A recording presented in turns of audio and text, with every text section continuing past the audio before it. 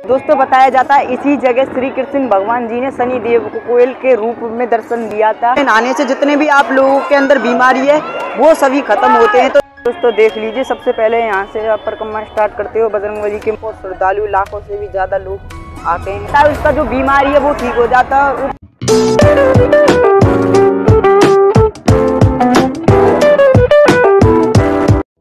दोस्तों, देख लीजिए, यहाँ से जो परिक्रमा है, इस तरफ़ से स्टार्ट होती है परिक्रमा मार्ग। जो कि तीन किलोमीटर की काफ़ी बड़ी परिक्रमा होती है तो अब welcome back to guys my new blog तो आज की वीडियो में एक ऐसी जगह दर्शन वीडियो बन, बताने वाला हूँ। यहाँ पर श्री कृष्ण जी ने शनिदेव को कोयल के रूप में दर्शन दिए तो आप देख सकते हो यहाँ से जो परिक्रमा है, वो स्टार्ट हो जाता है।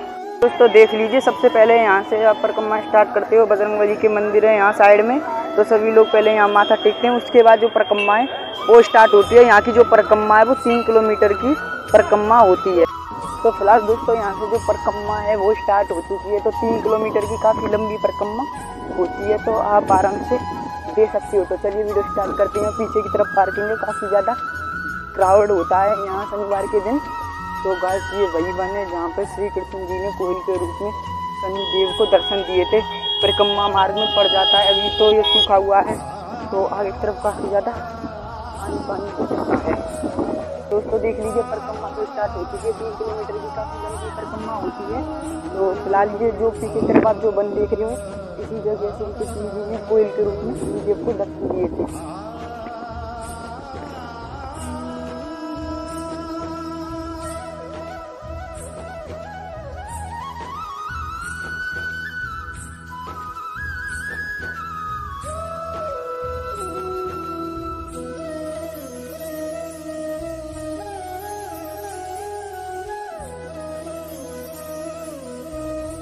तो देख लीजिए यही वन है जहाँ पर श्री कृष्ण जी ने जी को कोयल के रूप में दर्शन दिए थे। काफ़ी बड़ा वन है और इसी जगह साइड साइड में परकम्मा लगता है, जिसमें लाखों श्रद्धालु, लाखों से भी ज़्यादा लोग आते हैं। हर शनिवार के दिन तो रास्ते में थोड़े थोड़े गौशाला वगैरह बनाए गए हैं और ये है वो जन। लेकिन जन जुलाई के टाइम पे, जुलाई अगस्त के टाइम पे यहाँ काफ़ी सारे पानी चालू है तो काफ़ी श्रद्धालु आए हुए हैं। और यहाँ पे आप से वहाँ से आप पानी वगैरह पी सकते हो। तो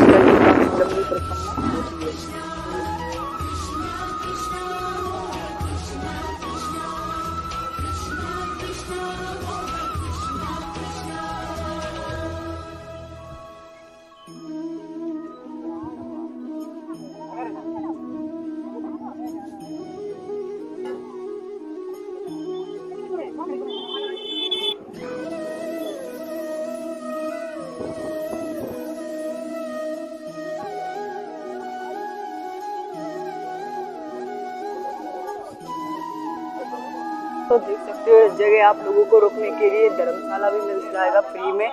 होली के टाइम पे काफ़ी सस्ते सस्ते मिले थे। तो आप यहाँ रूम लेके रह सकते हो, काफ़ी सस्ता होता है। तो देखिए सेवा चल तो परिक्रमा मार्ग में जगह जगह आप लोगों को पीने के लिए ठंडाई वगैरह देखने को मिल जाएगा। गर्मियों का मौसम है तो आप ठंडाई ज़रूर पी सकते हो। फ़िलहाल दोस्तों, यहाँ से परिक्रमा जो है वो पूरी हो चुकी है तो देख लीजिए। बस तीन किलोमीटर की परिक्रमा थी ज़्यादा नहीं थी। तो यहाँ से जो परिक्रमा हमने वहाँ से स्टार्ट किया था और यहाँ से जो परिक्रमा है, वो पूरी हो चुकी है। तो रास्ते में आप लोगों को पीने के लिए काफ़ी सारे प्याज मिल जाते हैं।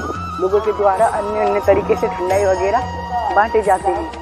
तो देख लीजिए दोस्तों, यहाँ से जो परिक्रमा है, वो पूरी हो जाती है। तो देख लीजिए यहाँ से यहाँ पर कोकिलावन के बगल में काफ़ी सारे मार्केट लगी हुई है। आप कुछ भी शॉपिंग वगैरह कर सकते हो। तो इस रास्ता आप देख सकते हो, काफ़ी अच्छा रास्ता बना दिया गया पहले ऐसा कुछ नहीं था। तो देख लीजिए, पूरे वहाँ से वहाँ तक सभी दुकानें दुकानें ही लगी हुई हैं।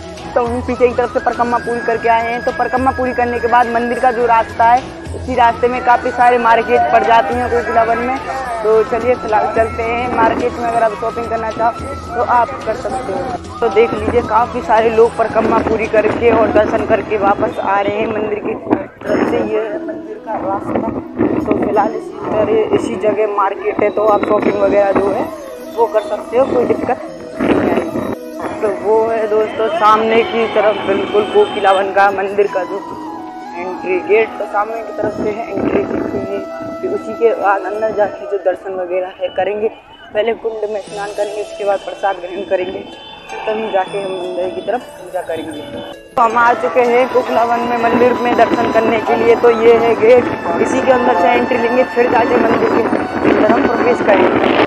ये अगर आप इस साइड से आओ, जब एंट्री लो गेट से तो इस तरफ़ आ जाना दूसरी पल्ली साइड यहाँ पे काफ़ी जगह भंडारा चलता रहता है, जहाँ आप लोगों को खाने पीने की सभी जो व्यवस्था है, वो आप लोगों को मिल फ़िलहाल मेरे पीछे की तरफ़ चल रहा है भंडारा महाप्रसाद, जो कि आप लोग आके ग्रहण कर सकते हो। शनि देव जी के जितने भी जो सेठ आदमी रहते हैं बड़े बड़े लोग, वो आके यहाँ पे भंडारा करवा करते हैं। तो आप आओ तो इस गेट में आ जाना।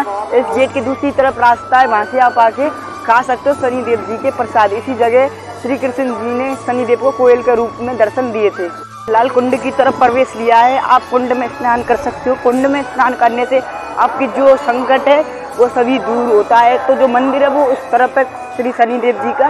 तो इसमें काफ़ी सारे भगवान रखे गए हैं इस मंदिर के भीतर। जितने भी हमारे ठाकुर हैं, सभी के ही आप लोगों को दर्शन हो जाएँगे। तो फ़िलहाल उस तरफ़ कुंड काफ़ी बहुत सारे इतने भक्त आते हैं, सभी नहा के जाते हैं, कुछ मान्यता है उस कुंड का तो मैं आप लोगों को वो बताता हूँ। और उस तरफ़ है श्री शनिदेव जी का जो मेन मंदिर है।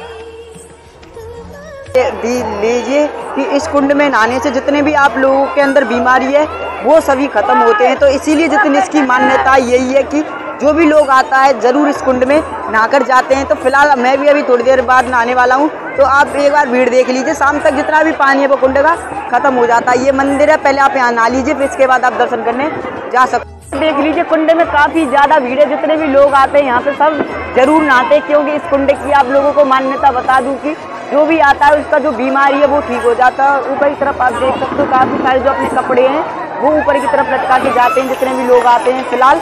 तो फ़िलहाल मैं अभी, मैं भी नहाने वाला हूँ तो आप लोग एक बार भीड़ का अंदाज़ा लगा लीजिए।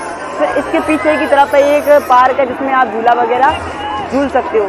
लीजिए, इस तरफ़ काफ़ी सारे झूला लगाए गए हैं, ज़्यादा नहीं है लेकिन थोड़ा बहुत झूला तो ज़रूर है।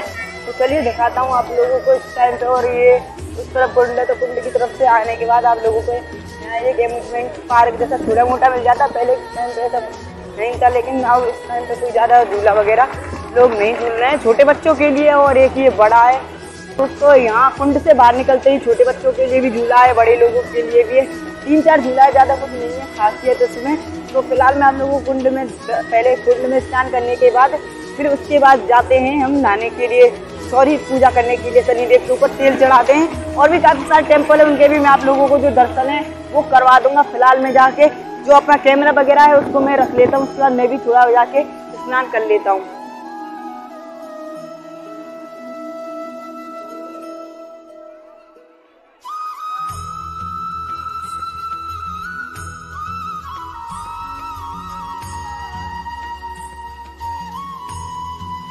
फ़िलहाल दोस्तों कुंड से नहा के आ चुके हैं। हम आप लोग देख सकते हो। तो फ़िलहाल चलते हैं मंदिर में दर्शन करने के लिए। आप देख लीजिए बात किस तरीके से हो। सके आप आओ, एक बार ज़रूर नहाना थोड़ी देर के लिए। नहीं तो आप सिर्फ़ अपने ऊपर पानी छींच लेना। उतना ही बहुत है, नहीं तो पानी काफ़ी ज़्यादा यहाँ का गंदा होता है, क्योंकि बहुत लोग नहाते हैं इसमें। तो चलिए फ़िलहाल मंदिर में आप लोगों को लेकर चलता हूँ, दर्शन करवाता हूँ वहाँ मंदिर के अंदर। लोगों को सभी देव से दर्शन करता हूँ। ये है सुखदेव जी। तो फिर इसके लिए आगे और चलते हैं अभी फ़िलहाल तो ये है। ये जय सूर्य देव है तो यहाँ पे भी अभी मंदिर में दर्शन वगैरह चल रहा है। तो अभी आगे की तरफ़ पहुँच सकते हैं। काफ़ी सारे आप लोगों को मैं यहाँ देख देखने को मिल जाएँगे। तो ये है जय चंद्र देव है ये। और भीतर की तरफ़ काफ़ी बड़ी मूर्ति रख प्रतिमा रखी गई है भगवान जी की। तो ये है मंगल देव तो शनि देव जो है वो उस तरफ़ है। तो इसमें कुछ लिखा हुआ है, आप पढ़ सकते हो। तो फ़िलहाल ये है जय राहु देव तो सभी देव आप लोगों को यहाँ देखने को मिल जाएँगे फ़िलहाल। तो ये एवं ये केतु देव तो आगे की तरफ़ और चलते हैं। तो यहाँ पे देखिए भजन कीर्तन चल रहा है। तो फ़िलहाल कीर्तन वगैरह हो रहा है। ये है जय गुरुदेव, हम उसी जगह पे फिर वापस लौट के आ चुके हैं फ़िलहाल, जहाँ से हमने शुरुआत की थी। तो ये है बुद्ध देव तो फ़िलहाल चलिए अंदर की तरफ़ दर्शन करते हैं चल के। तो देख लीजिए, काफ़ी सारे यहाँ पे रोटी वगैरह जलाई गए हैं। तो ये है अभी। और आगे की तरफ़ चलते हैं तो देख लीजिए, काफ़ी सारे दीपक यहाँ पे। शनिदेव का जो टेंपल है, वो भीतर की तरफ़ है तो काफ़ी बड़ा टेंपल है। यहाँ पे जितने भी देव होते हैं मंगल देव बुद्धदेव, शुक्रदेव, ये सभी देव यहाँ पे हैं। लेकिन जो शनि देव है, वो दूसरा उनका टेंपल बनाया गया है। तो मैंने सभी देव के आप लोगों को दर्शन करा दिए, इस मंदिर के अंदर है। और जो शनि देव का टेंपल है, वो काफ़ी बड़ा टेंपल और भीड़ काफ़ी ज़्यादा लगती है। वहाँ ऊपर चढ़ने में काफ़ी मुश्किल है। तो फ़िलहाल देख लीजिए, भजन कीर्तन वगैरह यहाँ पे चल रहा है। तो उस तरफ़ कुंड के सामने ही ये जो देवों का टेंपल है और ये कुंड के सामने ही पड़ जाता है।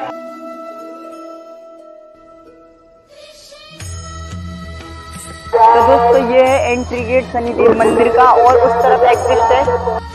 तो दोस्तों, ये है मेरे पीछे की तरफ़ शनिदेव जी का एंट्री गेट मंदिर का और उस तरफ़ है एग्जिट गेट तो चलिए अंदर एंट्री है, लेकिन वहाँ कैमरा वीडियो जो है, वो ज़्यादा कुछ अलाउ नहीं है और चेहरा भी अच्छा नहीं आ रहा दुख के कारण, इसीलिए देख लीजिए, ये एक गेट है और दूसरा गेट उस तरफ़ है।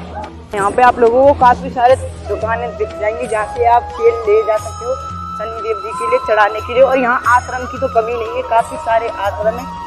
जो मेन द्वार एंट्री गेट ये है सनी देव जी का नया जो entry gate exist gate sorry exist gate है, यहाँ से सब लोग बाहर निकल के आते हैं।